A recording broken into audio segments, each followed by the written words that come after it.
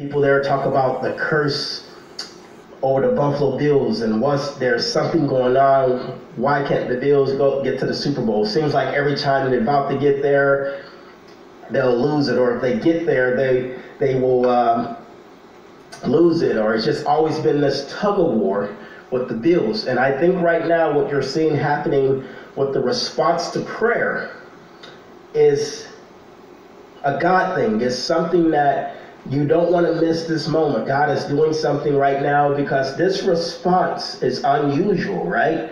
You know, Buffalo just had a mass shooting back in the summer, race related shooting.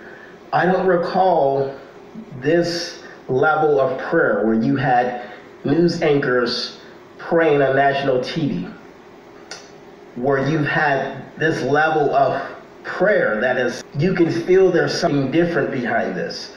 Uh, they most recently just had this crazy blizzard that's killed, uh, last number I heard, it was over 60 people, I believe.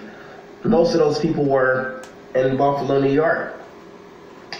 Um, so to have this level, and I'm not, not to to downplay the significance of this one, I posted a video that talked about the year 2023 and how significant it is and how we need to make some bolder prayers during this season and how the angelic is moving and how you need to be sensitive and know when the angelic is moving.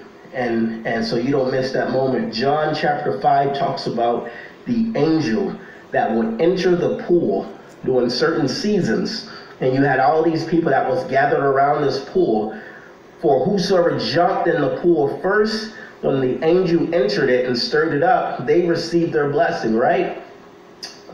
Uh, Jacob, the angel, before the day breaketh. So